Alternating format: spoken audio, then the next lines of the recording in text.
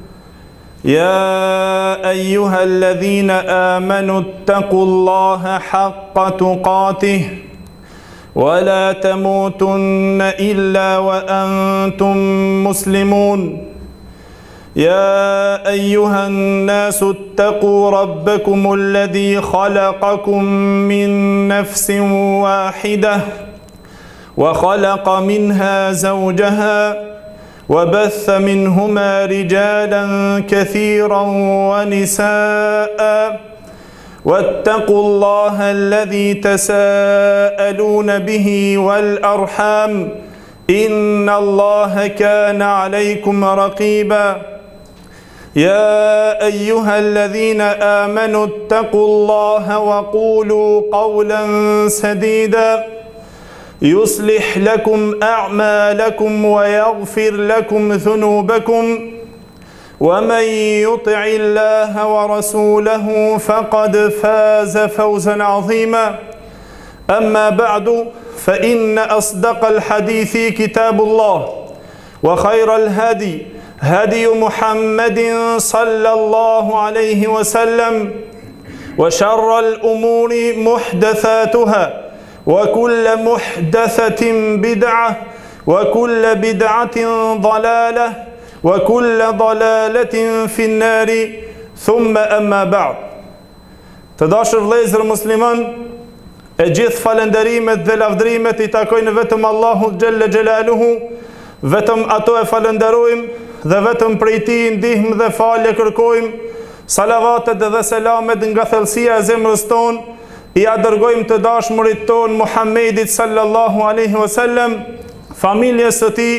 shokëve të tij dhe gjithë ata të cilët pasojnë rrugën e tyre me të mirë deri në ditën e gjykimit. Fillimisht falënderojmë Hoxhën për nderin që na ka nderuar sot dhe nuk jemi meritor që të flasim para tij. Po lusim Allahun xhelle xhelaluhu që të na fal për guximin që kemi dalë që të flasim para tij. E Allahun xhelle xhelaluhu e lusim që të na jep suksesin dhe Allahu xhelle xhelaluhu hoxhës t'ia shton nderin. Të dashur vëllezër musliman, jemi në një muaj të shenjtë të Allahut xhelle xhelaluhu që quhet dhul kade, muaj dhe sezona të caktuara që në to përkujtojmë ajetin e Allahut xhelle xhelaluhu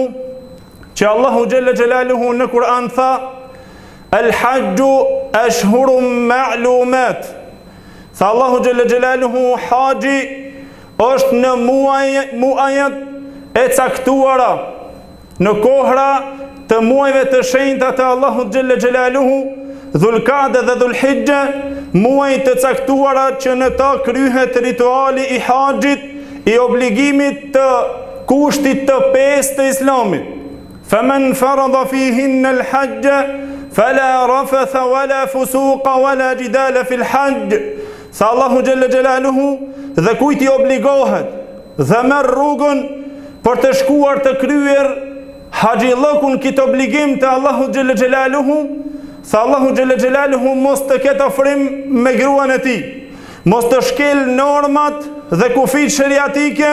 dhe të ketë polemik, nuk ka në to polemik dhe gjithë mirësinë të cilin e bëni, tha për çdo vepër që e bëni, tha Allahu xhelle xhelaluhu e din ata, wa tazawwadu fa inna khayra zadi taqwa dhe pajisuni për rrugëtimin tuaj dhe për këtë udhëtim që do të shkoni deri atje dhe dijeni se pajisja më e mirë është Takvallëku, devotshmëria, friga e Allahut xhelle xhelaluhu. Dhe me përkujtimin e këtij ajeti vëllezër na shton një dëshirë të thellë dhe të papërshkruar për në vizitën dhe në qëllimin e shkuarjes në shtëpinë e Allahut xhelle xhelaluhu për në Qabe. Në kryerjen ku njerëzit në këtë muaj vëllezër, ato janë duke u pregaditur për të shkuar të kryen një obligim të Allahut xhelle xhelaluhu për në haxh. Dhe kujtojmë fjalën dhe lutjen e Ibrahimit alejhi selam që iu lut Allahut xhelle xhelaluhu dhe tha Rabbena inni eskentu min dhurrijeti biwadin gajri dhi zar'in inde bejtike al-muharram Tha Ibrahim alejhis selam o Zoti ynë, tha unë e kam vendosur në këtë luginë që s'ka bimë në të. Një pjesë të familjes time, Rabbena li yuqimu salah, o Zot që ata ta falin namazin. Faj'al af'idatan minan nasi tahwi ilayhim warzuqhum min ath-thamarati la'allahum yashkurun. Tha o Zot, bëri që Zemrat e disave nga njerëzit që të mallëngjihen për në shkuarjen apo për ata. Bëri disa nga zemrat e tyre që të kenë mallëngji për ata dhe furnizoji me fryte ashtu që të të falënderojnë ty. Vëllezër, me të vërtetë se ky vend është aq i dëshiruar dhe aq Tërheqës i zemrave të robëve të Allahut xhelle xhelaluhu, saqë mbushen zemrat dhe lotojnë sytë dhe pikëllohen për mos shkuarjen e tyre në këtë vend. Allahu xhelle xhelaluhu e bëri vëllezër që ky vend dhe vetëm shkuarja e njerëzve dhe tubimi i tyre Bën që njeriu atë dëshirën e flaktë të tij që e ka për të shkuar në këtë ritual të Allahut xhela xhelaluhu që të kryen haxhin dhe ritualet të cilat janë të këtij obligimi që të arrin kënaqësinë e Allahut xhela xhelaluhu, a thua vëllezër, ky ky përmallim i madh dhe kjo dëshirë e papërshkruar për në këtë vend ku qëndron sekreti që Allahu xhela xhelaluhu e bëri këtë vend aq tërheqës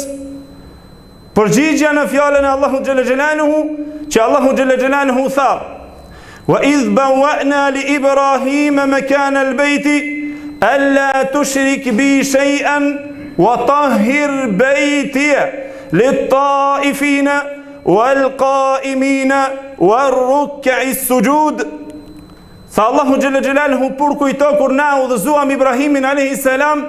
për në vendin themelet e qabës, që ai t'i rindërton ato dhe mos t'i bon shirk Allahut xhelle xhelaluhu. Dhe Allahu xhelle xhelaluhu emërtoi këtë vend, këtë shtëpi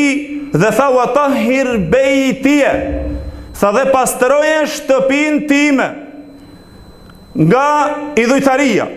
Pastroje shtëpinë time e quajti Allahu xhelle xhelaluhu dhe emërtoi këtë shtëpi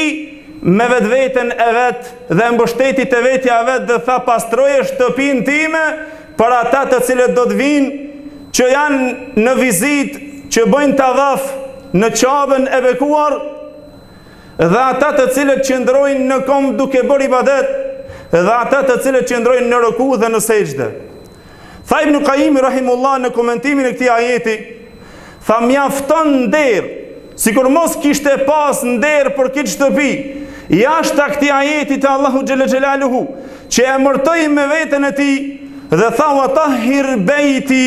dhe pastroje shtëpinë time, tha ky ajet kishte mjaftuar i vetmi ajet Tha kishte mjaftuar nder për kit shtëpi, që Allahu xhela xhelaluhu e emërtoi, tha pastroje shtëpinë time. E emërtoi, e emërtoi dhe e quajti shtëpia ime dhe mu për këtë vëllezër është ai sekreti që Allahu xhela xhelaluhu me këtë fjalë e bëri që t'i tërheq të gjithë zemrat e botës që të shkojnë për në këtë vend. Të përmallohen shpirtat e robëve të Allahut për në shkuarjen e shtëpisë së Allahut xhelle xhelaluhu.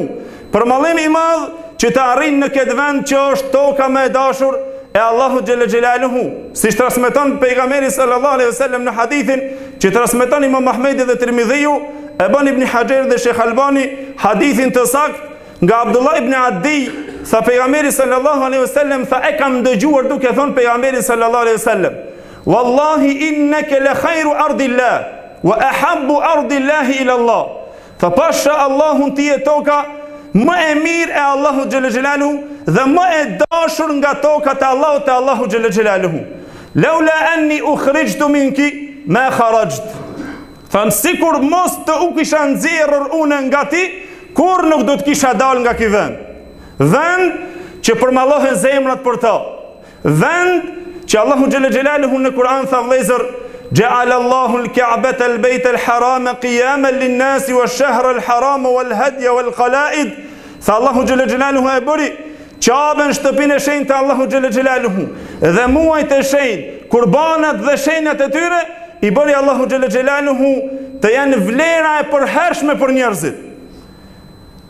të jetë vendi që njerëzit nuk ngihen me pamjen e saj dhe me vizitën e saj dhe me shkuarjen në atë vend. Kështu Allahu xhelle xhelaluhu e bekoi këtë vend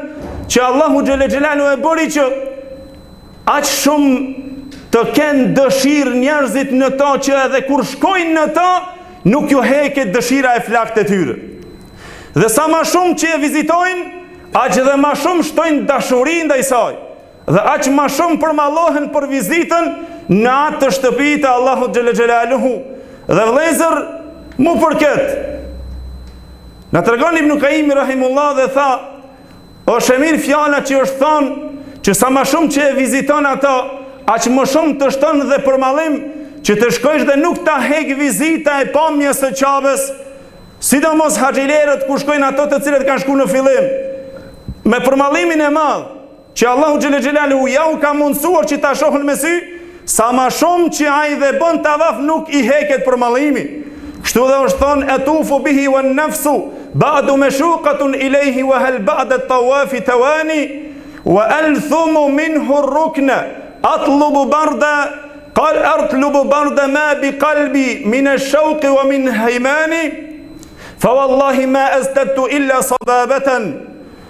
Wala al-qalbu illa kathrata al-khafaqani.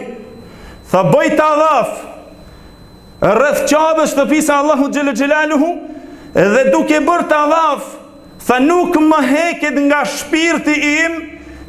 dëshira e flaktë që e kam në shpirtin tim dhe në zemrën time. Dhe duke bërë tavaf a thua se do të më heket mas mbarimit të tavafit kjo dashuri e flaktë dhe kjo etje Dhe shkoj i puthi ruknet dhe qoshet e kësaj shpije, duke kërkuar flladin në zemrën time që të ma flladit zemrën nga dëshira e flaktë dhe nga përmallimi i flaktë në shpirt dhe në zemër që e kam, tha wallahi nuk më ka shtuar diç tjetër vetëm se më shumë përmallim. Dhe as zemrës time nuk i ka shtuar tjetër vetëm se më shumë rrahje dhe dëshirë më shumë të flakët për në vizitën e kësaj e kësaj e kësaj shtëpie të Allahut xhelle xhelaluhu. Vëllezër, Allahu xhelle xhelaluhu kështu e nderoi këtë vend. Dhe kështu Allahu xhelle xhelaluhu prej momentit që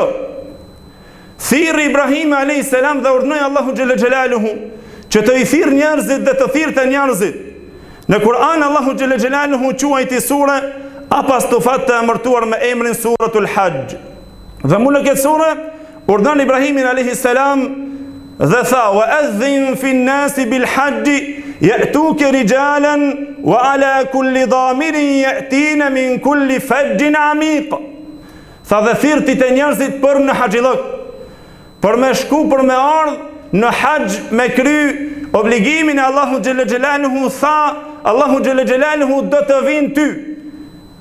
këmbësorë në këmbë të hypur në deve Nga të gjitha anët dhe nga të gjitha, gjitha viset e largëta. Dhe mu ashtu, është përgjigja Allahu xhelle xhelaluhu që, me të vërtetë nga të gjitha anët dhe nga të gjitha viset e largëta,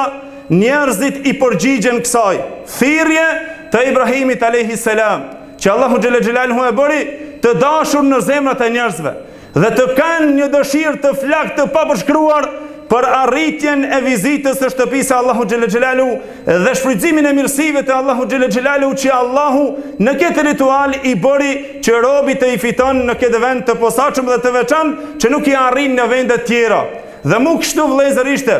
pikëllimi i atyre të cilët Ishin nga të parët tanë, që aq shumë u pikëlloshin nëse nuk mundeshin të shkojnë në vizitën dhe të, të Qabes së bekuar në shtëpinë e Allahu xhelle xhelaluhu nëse nuk ju mundësohej vizita, aq shumë u pikëllëshin. Dhe kështu vëllezër, tregohet nga selefët dhe shumë tregime dhe historia, për pikëllimet e tyre, dhe për dashurinë e flaktë të tyre që kanë dashtur të shkojnë në vizitën e Qabes dhe shtëpisë së lartë lashtë të Allahut xhelle xhelaluhu. Mu për këtë, siç na tregohet, kur bëni haxh esh-Shibli, për në tokët e Mekës, tha kur mrrini në tokët e Mekës, nuk e besojke vetëveten e vet, Se ka mrri në këtë tokë më të mirë dhe më të dashur të Allahu xhelle xhelaluhu dhe tha vetëm në skej kur e pa tokën e Mekes tha e kjo është toka e Mekes që unë e shiqoj me sy dhe unë jam prezent këtu tha i ra të fikët Shiblit u alivanos për shkak të dëshirës së madhe të cilën e ka pas Dhe në ashtu vllezër, siç na tregohet, nga Abdul Aziz ibn Abi Rawad, tha se kur shkuam në haxh, dulëm tha nga Khurasani,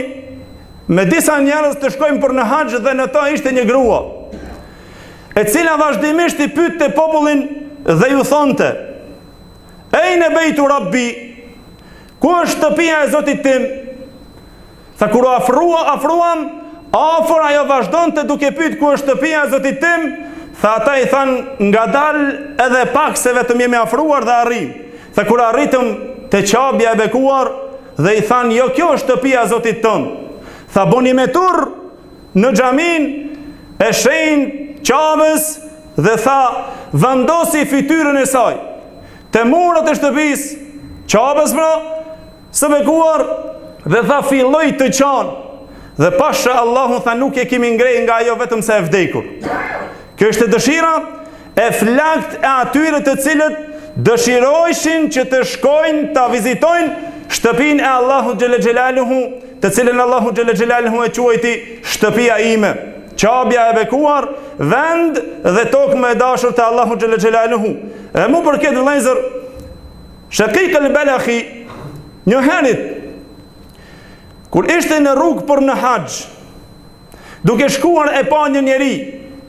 duke ecur në kom, i raskapitur, i lodhur, tha herë mbahej, herë ulej, dhe pastaj u ndal dhe u habit me këtë njeri. Dhe tha e pyeta, ku je duke shkuar, Tha jam duke shkuar në vizitë te shtëpia e Allahut xhelle xhelaluhu, shtëpia e lashtë e Allahut xhelle xhelaluhu. Tha dhe u mahnit u habit me kit njeri, tha prej nga vjen? Prej nga e ki ardhjen? Tha prej pas lumit atje. Tha qe sa je nis? Filloi t'ia numërojnë afërsisht tha 10 vite që jam nis në rrugë, duke shku për në haxh, në vizitën e Qabes së bekuar të shtëpisë së Allahut xhel xelaluhu. U mahnit u habit aq shumë Shakik el Belahi dhe tha: "Pse po mahnitesh? Pse po habitesh me këtë çështje?" Tha po habitem se rruga e yte aq e largët Dhe shëndeti i yt shumë i dobët, i lodhur, i raskapitur trupi yt. Tha o Shekik, mos u habit për këto. Tha se rrugën të cilën e kam distancën e largë, tha dashuria e flakët e imja, ma shkurton tha këtë rrugë që sa jam nisë. Tha sa i përket dobësimit të trupit tem dhe shëndetit tem, që e sheh që jam i raskapitur, tha mos e ki dert se Allahu më ban deri atje. Tha apo habitesh o Shekik, për atë i cili, të cilin e bart Allahu xhel-le xhelaluhu deri te shtëpia e tij nëse ai don, që i ka caktuar atij për me shkuar në vizitë. Kjo ishte dëshira e flaktë, në zemrat e atyre të cilët dëshironin që ta vizitojnë shtëpinë e Allahut xhel-le xhelaluhu vllezër. Dhe mu për këtë, Umi Ejmen një grua nga Egjipti, Nga pikëllimi që kishte dhe nga dëshira e flaktë e saj që kishte, dëshirë e papërshkruar për në vizitën e Qabes së bekuar, dilte në rrugë në shkretinë dhe i përcellte kur niseshin ja koha e këtij muaji pregaditja e haxhilerëve dhe robëve të Allahut xhel-le xhelaluhu për të shkuar për në haxh. Dhe dilte i shihte dhe i shiqonte karavanat që shkojshin me deve për në haxh Fillonte të qan dhe bërtitte ah për dobësimin tem ah për pengesën që s'kam mundësi dikush shkon te shtëpia e Allahut e unë nuk kam mundësi që të shkoj te shtëpia e Allahut. Tha a thua, si do të jetë ky pikëllim, përderisa kaq pikëllim i madh, tha është për atë i cili i ndërprehet dhe nuk ka mundësi që të shkon te shtëpia e Allahut te Qabja e bekuar. Si do të jetë, tha pikëllimi kur Një njeri shkëputet dhe ndahet nga Zoti i shtëpisë së shenjtë, nga Zoti i Qabes. Vëllezër, kjo është dëshira e flaktë e shumë e shumë të selefëve të cilët dëshironin që të shkojnë në vizitën për me vizituar Qaben e bekuar dhe shtëpinë e Allahut xhel-le xhelaluhu dhe shumë e shumë të tjerë të cilët dëshironin dhe ka pas prej tyre të cilët nga dëshira e madhe që kanë pas, ndoshta ndonjëherë nuk u të mundësohet me shku dhe ka vdekë në rrugë dhe kanë shkrujtur vargje të poeziave nga pikëllimi të cilin i ka kapluar që nuk ju mundësua arritja në shtëpinë e Allahut xhel-le xhelaluhu që me e pa ato. E vllezër, dikujt Allahu xhel-le xhelaluhu ja ka mundësuar Dhe këto historie për të cilët janë shkruar, a thua vëllezër,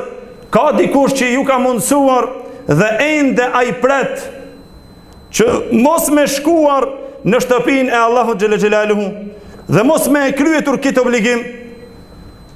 ka prej tyre të cilët nuk ju intereson se e ka farz dhe e ka obligim te Allahu xhelle xhelaluhu që ta kryen kitë ritual që Allahu xhelle xhelaluhu e bëri kusht që të jetë nga kushtet e islamit. Kushti i pestë i islamit që njeriu e, kin, e kryen këtë obligim. Dhe mu për këtë vëllezër të jenë mësime të cilët na duhet që t'i marrmi nga dëshira e tepërt që edhe ata të cilët kanë shkuar dhe e kanë vizituar nuk kanë shtuar vetëm se më shumë dashuri për në vizitën në këtë vend. Më shumë dashuri për kryerjen e këtij obligimi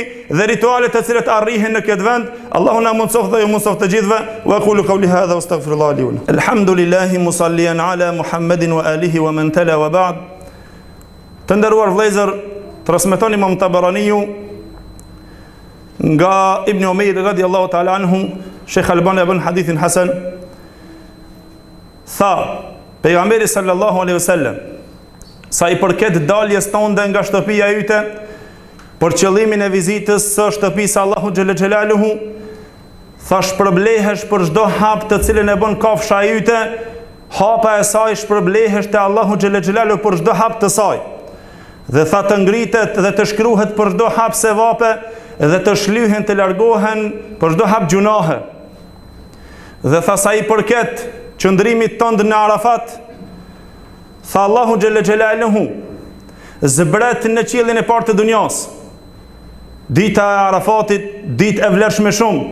tha vle, zbret Allahu xhelle xhelaluhu në qiellin e parë të dunjas, dhe tha, ju livdrohet melaqeve, dhe ju thotë këta janë robërit e mi, të cilët kanë ardhur, të shprishur, të pluhnosur kanë ardhur prej viseve të largëta në këtë vend dhe këto janë ata të cilët jerxhuna rahmeti wa jekhafuna adhabi wa ma rauni dhe këto janë ata të cilët shpresojnë mëshirën time dhe këto janë ata të cilët kanë frikë dënimin tim dhe ende nuk më kanë parë fe kejfe lau rauni Tha dhe qysh këto nëse më kishin parë mu dhe sa i përket qëndrimit tënd tha në gjuajtjen e xhemerateve dhe gurëve të cilët gjuhen tha kjo është e cila Allahu xhelle xhelaluhu t'i ruan si shpërblim te Allahu xhelle xhelaluhu që e merr Allahu t'i ruan ato Sa i përket rruajtjes së kokës tonde, tha për çdo për çdo flokë dhe çdo qime që të bjen tha ki sevapet e Allahu xhel-le xhelaluhu. Dhe tha sa i përket tavafit të cilën e ban rreth Qabes, tha del nga gjynahet dhe mëkatet, tha sikur nga sikur dita që ke lindur nga nona yte. Kjo është vlera vëllezër.